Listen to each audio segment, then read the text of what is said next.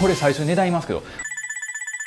高くね？じゃあおすすめの人どういう人なんかっていうとこういうリュックの紐の部分のここに使われてる金具とか。はい。本日はですねこちらブリーフィングのバッグをご紹介していきたいなと思います。ということで、えー、これを買ったいきさつっていうのがですね先日ライブしてたんですよ。YouTube ライブ。そしたらね視聴者さんからねいやブリーフィングのリュック紹介してよって言われたんですけども僕ブリーフィング何か分からへんから紹介なんか定番のやつ教えてくださいって言ったらこれが紹介されたんですね。であポチりますわ言うたらええもののこれ最初値段言いますけど8万5800円。高くね？これ8万5800円で家賃やんと思ったんですけどもね、えー、家賃1ヶ月分をですね、えー、このリュックのためだけに購入させていただきました。本当皆さんありがとうございます。ちょっとあの YouTube ライブではね「ああリュックこれですか?」とか言って8万5800円とかちょっと手が一瞬震えそうになったけどね。あポチるしかないと思ってもうその時は顔出さへんかったけどポチりましたけども、えー、そういったリュックになってます。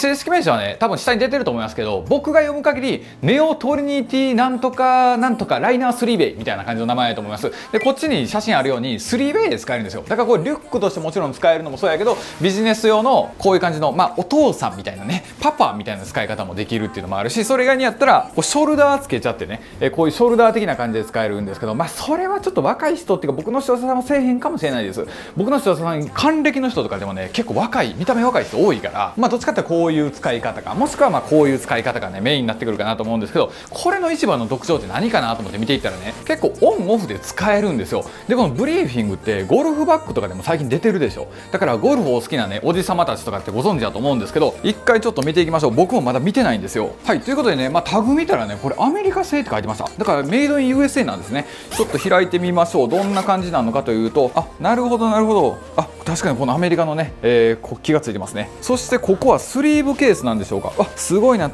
ちゃちゃんとこの裏側にあのパソコンとか傷つかんようなこういう柔らかいクッション材みたいな感じで入ってますわ。そしてこれは何ですか？あブリーフィングの袋がついてました。今気づいたけどもね、えこれ何を入れる袋なのかな？ちょっと分からへんけども。僕のあの事務用のね、えーシューズケースにしたいなと思います。あそうすることによって両面がこういうちょっと起毛感のあるね柔らかい感じになってるんですね。スマホとか、えー、タブレットとか入れれますよと。でこれポチって止めると。そしてメインはここなんですけどこっち側にもなんかあるぞ。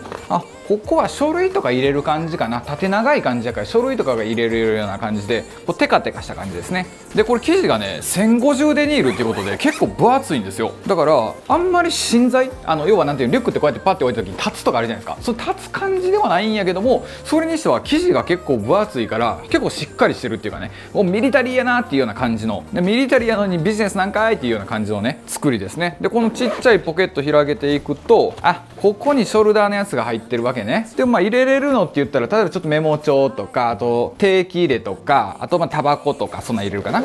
この下側にはスマホの充電器とかねあとは家の鍵とかねこの一緒に家の鍵をつけたりとかね。そしてここの真ん中のとこにはあ大事な資料ですね。ここでプレゼンする用の資料を入れたりとかっていう感じなんでこの開け方見る限り基本はこうなんでしょうね。リュックとしてももちろん使えるけどこうリュックとして使おうと思って開けようと思ったらまあできんことはないか。ここの書類のところは使えるか。で他のバッグで比べてみるとねやっぱ近いなと思ったんがこのノースフェイスのシャトルとかって近いかなと思ったんですよ。でちょっと一回つけてみますね。つけてみるという表現が正しいか分からんけどもちょっと背負ってみるとこんな感じですね。ただこのブリーフィングほどポケットがいっぱいある感じではないんですけどもでしかも 1A かな。リュックとしか使われへんけど結構まあ似てるかなっていうような印象です、まあ、形も似てますもんね。でアークで言ったら何が近いかなと思ったらねアークで言ったらねこのブレードが近いかなと思ったんです、まあ、結構ビジネスライクな感じじゃないですか。まあつけてるシーン見たらこんな感じね。だからやっぱロゴが入るからちょっとねカジュアル感は出てくるけどもまあブリーフィングもねこれステッチが赤やったりロゴ結構赤やったりするからね目立つんちゃうかなと思いますけどもね。これがね、まあ、皆さんからお声いただいていたブリーフィングの、えー、定番のリュックらしいです。ただね僕ちょっと気になるところとしてはねこの背面の部分。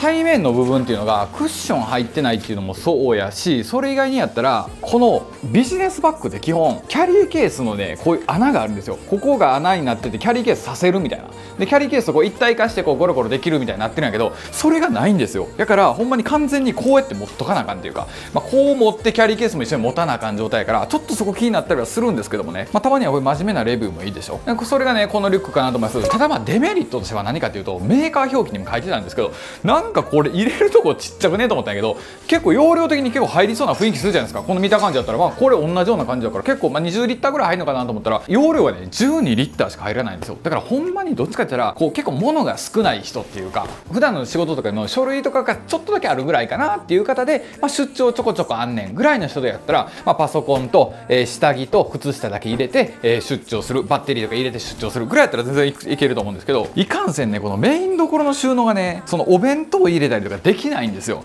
ほんなやっぱお母ちゃんから作ってもらったお弁当みんな入れるでしょ？愛妻弁当。それが入れれる場所がないから言うたってこの隙間っていうかこの街の部分ねこんだけしかないんですよ。さすがに弁当は入らんよ、まあ、逆にこれぐらいで収まるって言ったらプロテインバーぐらいになるけど、まあ、プロテインバーでも食べてればね、まあ、体もまあシュッとしてくるんやけどもどうしてもやっぱりあらねお母ちゃん作ってくれたあの特盛りの弁当も食いたなってくるからね、まあ、ちょっとこれじゃ入りにくいかなっていうところはあるんですけども。じゃあおすすめの人どういう人なんかっていうとやっぱりね8万もするだけあってね。そのここの価格帯って大体2万とかぐらいなんですよ。23万かなぐらいな感じだけど。やっぱ8万もするからほんま2.5倍ぐらいするじゃないですか。作りがね細かいところの作りなんやけど例えばこういうリュックの紐の部分のここに使われてる金具とかが普通のやつってやっぱこういうやつなんやけどもやっぱしっかりしてる結構大きめのやつが使われたりするのでよりなんか安心感があったり強度があったりするしステッチもね細かく多めに縫われてるんですよ。だからここがほつれてきたりとかここであのちぎれたりすることもないやろうなと。普通ってまあこの辺ビビュってやるだけなんやけども、まあ、このバッテンって言ってついてるでしょ？それ以外にもねリュックのねこの縫製の部分がこのなんていうのこうビョンってこう中に2枚生地が中にヒュンってこれ中に入ってるの分かります？でひっくり返すと要はこっちで一回ドゥルッと塗ってそれを